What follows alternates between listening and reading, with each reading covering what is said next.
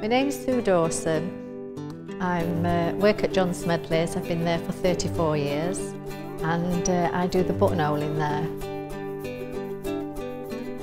My job's all about precision, using the templates and getting the buttonholes in the correct place and getting the quality there that's, that's needed.